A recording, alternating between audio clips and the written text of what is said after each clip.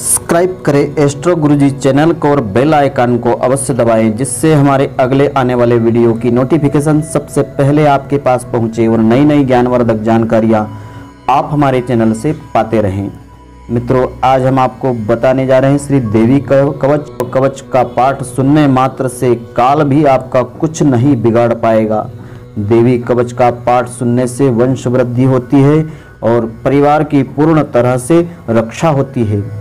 देवी की कृपा से उस परिवार पर जीवन में कोई आपत्ति नहीं आती है। तो मित्रों ध्यान पूर्वक इस पाठ को आप श्रवण करेंगे तो इसका अनंत गुना फल आपको प्राप्त होगा। आरंभ करते हैं मित्रों ध्यान पूर्वक हाथ जोड़ करके बैठे। ओम श्री चंडिका देवी को हम नमस्कार करते हैं। मार्कंडे जी ने कहा कि पितामह, जो इस संसार में परम गोपनीय तथा मनुष्यों की सब प्रकार से रक्षा करने वाला है। और जो अब तक आपने दूसरे किसी के सामने प्रकट नहीं किया हो, ऐसा कोई साधन मुझे बतलाइए। तब ब्रह्मा जी कहते हैं कि, ब्रह्मन, ऐसा साधन तो एक देवी का कवच ही है, जो गोपनीय से भी परम गोपनीय है, पवित्र तथा संपूर्ण प्राणियों का उपकार करने वाला है। महामुने, उसे आप ध्यान पूर्वक सुनिए। देवी की नौ मूर्तियाँ हैं, जिन्हें नव दुर्गा कहा जाता है। उनके अलग अलग नाम बतलाए गए हैं। पहली देवी का नाम शैलपुत्री है। दूसरी देवी का नाम ब्रह्मचारिणी है। तीसरी का नाम चंद्रघंटा है। चौथी मूर्ति को कुष्मांडा कहते हैं। पांचवी का नाम दुर्गा है। स्कंद माता है। देवी के छठे स्वरूप को कात्यायनी कहते हैं। सातवां कालरात्रि और आठवां स्वरूप महागौरी के नाम से जगत में प्रसिद्ध है। नवी देवी दुर्गा का नाम सिद्धिदात्री है। ये सब नाम सर्वज्ञ महात्मा वेद भगवान के द्वारा ही प्रतिपादित किए गए हैं। जो मनुष्य अग्नि में जल रहा हो, रणभूमि में शत्रुओं से घिर गया हो, युद्ध क्षेत्र में यदि वह घिर गया हो, विषम संकट में यदि पड़ गया हो, तथा इस प्रकार भय से आतुर डरा हुआ हो, जो भगवती दुर्गा की शरण में चला जाए तो उसका कभी कोई अमंगल नहीं होता है। युद्ध के समय संकट में पड़ने पर भी उसके ऊपर कोई विपत्ति नहीं आती है। और उन्हें दुख आदि भय की प्राप्ति भी नहीं होती है, जिन्होंने भक्ति पूर्वक देवी का स्मरण किया है। उनका निश्चय ही कल्याण होता है। जो देवी तुम्हारा चिंतन करते हैं, उनका तुम निसंदेह रक्षा करती हो। चामुंडा देवी प्रेत पर सवारी करती हो, वाराही देवी भैंसे पर सवारी करती हो इंद्री का वाहन एरावत है हाथी है। वैष्णवी देवी गरुड़ पर आसन जमाती है, माहेश्वरी देवी वृषभ पर यानी बेल पर आसन अपना जमाती है। कुमारी का वाहन मयूर है। भगवान विष्णु की प्रियतमा लक्ष्मी देवी कमल के आसन पर विराजमान होती है और हाथों में कमल धारण किए हुए होती है और वृषभ पर यानी बेल पर बैठकर ईश्वरी देवी ने श्वेत रूप धारण कर रखा है और ब्राह्मी देवी हंस पर बैठी हुई है और सब प्रकार के आभूषणों से विभूषित है। इस प्रकार ये देवियाँ सभी माताएँ सब प्रकार की योग शक्तियों से संपन्न हैं। इनके सिवा और भी बहुत सी देवियाँ हैं जो अनेक प्रकार के आभूषणों की शोभा से युक्त तथा बहुत प्रकार के रत्नों रत्नों से शोभित है। ये सारी देवियाँ क्रोध में भरी हुई है और अपने भक्त की रक्षा के लिए रथ पर बैठी दिखाई देती है। ये देवियाँ शंख, चक्र, गदा, पद्म, शक्ति, हल, मूसल, खेटक, तोमर परशु और पाश, कुंत और त्रिशूल, उत्तम, शांख, धनुष और अस्त्र, शस्त्र अपने हाथों में धारण किए रहती है। राक्षसों के शरीर का नाश करना और भक्त, अपने भक्त को अभय दान देना और देवताओं का कल्याण करना यही उनके अस्त्र शस्त्र धारण करने का मुख्य उद्देश्य है। और महान रौद्र रूप अत्यंत घोर पराक्रम महाबल और महान उत्साह वाली देवी तुम महान भय का नाश करने वाली हो, तुम्हें नमस्कार है। तुम्हारी ओर देखना भी बड़ा कठिन है। शत्रुओं का भय बढ़ाने वाली जगदम्बिके, आप मेरी रक्षा कीजिए।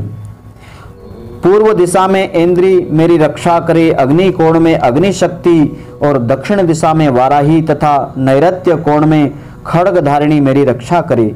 पश्चिम दिशा में वारुणी और वायव्य को कोण में मृग पर बैठी, मृग पर सवारी करने वाली देवी मेरी रक्षा करे। और उत्तर दिशा में कोमारी, ईशान कोण में शूल धारिणी देवी मेरी रक्षा करे। ब्रह्माणी, तुम ऊपर की ओर से मेरी रक्षा करो, वैष्णवी देवी नीचे की ओर से मेरी रक्षा करो। इसी प्रकार शव को अपना वाहन बनाने वाली चामुंडा देवी दसों दिशाओं में मेरी रक्षा करे। जया आगे से रक्षा करे, विजया पीछे की ओर से मेरी रक्षा करे। वाम भाग में अजिता, दक्षिण भाग में अपराजिता मेरी रक्षा करे। उद्योतिनी मेरी शिखा की यानी चोटी की रक्षा करे। उमा मेरे मस्तक पे, के ऊपर विराजमान होकर मेरी रक्षा करे और ललाट में मालाधारी रक्षा करे, यशस्विनी देवी मेरी भौहों की रक्षा करे। भौहों के बीच में, भाग में त्रिनेत्रा और नथनों की यम घंटा देवी मेरी रक्षा करे। दोनों नेत्रों के बीच भाग में शंखिनी और कानों में द्वारवासिनी मेरी रक्षा करे। कालिका देवी कपोलों की तथा भगवती शांकरी कानों के मूल भाग में मेरी रक्षा करे। नासिका में सुगंधा और ऊपर के होठ में चर्चिका देवी मेरी रक्षा करे। नीचे के होठ में अमृत कला और जिह्वा में सरस्वती देवी मेरी सदा रक्षा करे। कुमारी देवी दांतों की रक्षा करे। चंडिका देवी कंठ प्रदेश की मेरी रक्षा करे। चित, चित्रघंटा देवी मेरे गले की घंटी की और महामाया तालू में रह करके मेरी रक्षा करे। चामा, कामाक्षी, ठोडी की और सर्वमंगला देवी वाणी की रक्षा करे। भद्रकाली ग्रीवा में और धनुधरी यानी धनुष धारण करने वाली पृष्ठ वंश में आगे के भाग की मेरुदंड में रह करके रक्षा करे। कंठ के बाहरी भाग में नीलग्रीवा कंठ की नली में नलकुबरी मेरी रक्षा करे। दोनों कंधों में खड़गिनी और मेरी दोनों भुजाओं में वज्रधारिणी रक्षा करे। दोनों हाथों में दंडिनी और अंगुलियों में अंबिका देवी रक्षा करे। शूलेश्वरी नखों की रक्षा करे। कुलेश्वरी, कुक्षी यानी पेट में रह करके रक्षा करे। महादेवी दोनों स्तनों की शोकनाशिनी देवी मन की रक्षा करे। ललिता देवी हृदय में विराजमान होकर शूल धारिणी उदर में रह करके रक्षा करे। और नाभि में कामिनी गुह्य बाग की गुह्येश्वरी हमारी रक्षा करे। पूतना और कामिका, लिंग की महिषवादिनी गुदा की रक्षा करे। भगवती कुटी कटी भाग में और विंध्यवासिनी घुटनों की रक्षा करे, संपूर्ण कामनाओं को देने वाली महाबला देवी दोनों पिंडलियों की रक्षा करे। नारसिंही दोनों घुटनों की घंटियों की रक्षा करे। तेजसी देवी चरणों के आगे के भाग की रक्षा करे। श्री देवी पैरों की उंगलियों में और तलवासिनी पैरों के तलवे में रह करके रक्षा करे। अपनी दाढ़ों के कारण भयंकर दिखाई देने वाली दृष्टा कराली देवी नखों की और ऊर्ध्व केशनी देवी हमारे केशों की, यानी हमारे बाल की रक्षा करे। और रोमामलियों के छिद्रों में कोबेरी और त्वचा की वागीश्वरी हमारी रक्षा करे। पार्वती देवी रक्त, मज्जा, वसा, मांस, हड्डी और मेद की रक्षा करे। आंतों की कालरात्रि और पित्त की मुकुटेश्वरी हमारी रक्षा करे। मूलाधार आदि कमल कोशों में पद्मावती देवी और कफ में चूड़ामणि देवी स्थित होकर हमारी रक्षा करे। नख के तेज की ज्वालामुखी रक्षा करे, जिसका किसी भी अस्त्र शस्त्र से भेदन नहीं हो सकता है। वह अभेद्या देवी शरीर की समस्त संधियों में यानी जोड़ों में रह करके हमारी रक्षा करे। हे ब्रह्माणी, आप मेरे वीर की रक्षा करें, छत्रेश्वरी देवी छाया की तथा धर्म धारिणी देवी मेरे अहंकार की और मन और बुद्धि की रक्षा करे। हाथ में वज्र धारण करने वाली देवी, वज्रहस्त्रा देवी मेरे प्राण की रक्षा करे। अपान, व्यान, उदान और समान वायु की रक्षा करे। कल्याण से शोभित होने वाली भगवती कल्याण शोभना मेरे प्राण की रक्षा करे। रस रूप, गंध, शब्द, स्पर्श इन विषयों का अनुभव करते समय योगिनी देवी मेरी रक्षा करे तथा सत्वगुण, रजोगुण, तमोगुण की सदा नारायणी हमारी रक्षा करे। वाराही हमारी आयु की रक्षा करे, वैष्णवी हमारे धर्म की रक्षा करे। चक्रिणी चक्र धारण करने वाली देवी यश, कीर्ति, लक्ष्मी, धन और विद्या की रक्षा करें। और इंद्राणी देवी, आप मेरे गोत्र की रक्षा करें। चंडिके देवी, तुम मेरे पशुओं की रक्षा करो। महालक्ष्मी पुत्रों की रक्षा करें और भैरवी पत्नी की रक्षा करें। मेरे पथ की, यानी मार्ग की सुफदा देवी, मार्ग की रक्षा करें और राजा के दरबार में महालक्ष्मी देवी सदा रक्षा करे तथा सब और व्याप्त रहने वाली विजया देवी संपूर्ण भयों से मेरी रक्षा करे। देवी, जो स्थान कवच में नहीं कहा गया है, अतएव रक्षा से जो रहित हुआ है, वह सब तुम्हारे द्वारा सुरक्षित हो जावे। क्योंकि तुम विजयशालिनी पाप नाशिनी हो। यदि अपने शरीर का मनुष्य भला चाहे तो बिना कवच के मनुष्य को एक पग भी आगे नहीं रखना चाहिए। कवच का पाठ करके ही कोई यात्रा आरंभ करना चाहिए, जिससे यात्रा सफल हो जाती है। कवच के द्वारा सब ओर से सुरक्षित मनुष्य जहाँ कहीं भी जाता है, वहाँ वहाँ उसे धन लाभ होता रहता है, तथा संपूर्ण कामनाओं की सिद्धि करने वाली उसे विजय की प्राप्ति होती है। वह जिस जिस प्रिय वस्तु का वह चिंतन करता है, उस मनुष्य को निश्चय ही वह प्राप्त हो जाती है। वह पुरुष इस पृथ्वी पर तुलना रहित महान ऐश्वर्य का भागी हो जाता है, और कवच से सुरक्षित मनुष्य निर्भय हो जाता है। युद्ध में उसकी पराजय, यानी उसकी हार नहीं होती है, तथा वह तीनों लोकों में पूजनीय हो जाता है। देवी का यह कवच देवताओं के लिए भी दुर्लभ है।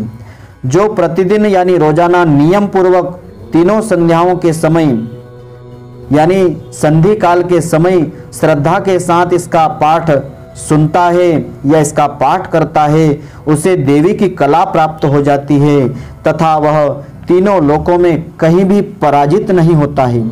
इतना ही नहीं, वह अपमृत्यु यानी दुर्घटना से उसकी कभी मृत्यु नहीं होती है और सौ से अधिक वर्षों तक वह जीवित रहता है।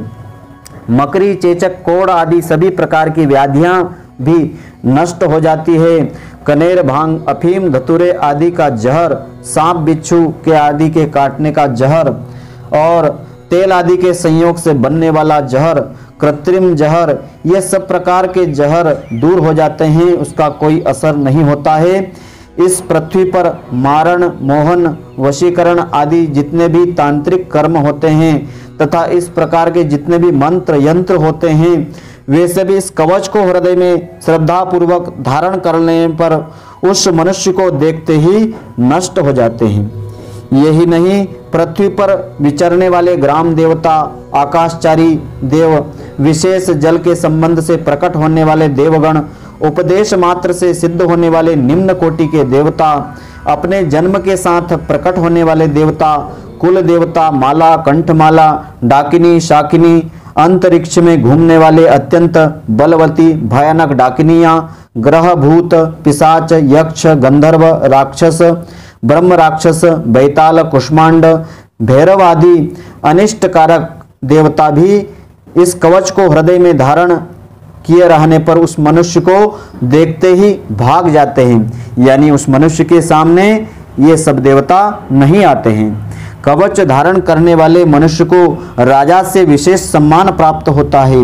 यह कवच मनुष्य के तेज की वृद्धि करता है और यह उत्तम कवच का पाठ करने वाला मनुष्य कीर्ति से विभूषित होकर के इस पृथ्वी पर अपने सुयश के साथ वृद्धि को प्राप्त करता है। यानी दिनों दिन उस व्यक्ति की वृद्धि होती रहती है, जो व्यक्ति पहले कवच का पाठ करके, उसके बाद श्री दुर्गा सप्तशती का पाठ करता है, या इस कवच को श्रवण करता है, दुर्गा सप्तशती पाठ को श्रवण करता है, उसकी जब तक वन पर्वत रहते हैं और काननों सहित यह पृथ्वी जब तक टिकी रहती है, तब तक यहाँ पुत्र, पौत्र आदि संतान परंपराएँ उसकी बनी रहती है। फिर देह का अंत हो जाने पर वह मनुष्य भगवती महामाया के प्रसाद से, महामाया के आशीर्वाद से उस नित्य परम पद को प्राप्त कर लेता है, जो देवताओं के लिए भी बड़ी दुर्लभ है। वह सुंदर दिव्य स्वरूप को धारण करता है, तेजस्वी बन जाता है और कल्याणमय शिव के साथ आनंद का भागी वह मनुष्य हो जाता है। तो मित्रों श्रद्धा पूर्वक इसे सुनने मात्र से भी व्यक्ति को भगवती की कृपा प्राप्त होती है और वह व्यक्ति निर्भय हो जाता है। किसी प्रकार का संकट उसके जीवन में नहीं आता है। तो मित्रों, आशा करता हूँ कि आपको हमारी यह जानकारी पसंद आई होगी, हमारा वीडियो पसंद आया होगा। यदि पसंद आया हो तो आप इसे लाइक लाइक अवश्य करें उस इस ज्ञानवर्धक जानकारी को अधिक से अधिक मित्रों के साथ शेयर करना नहीं भूले। जय माता दी मित्रों, फिर मिलेंगे।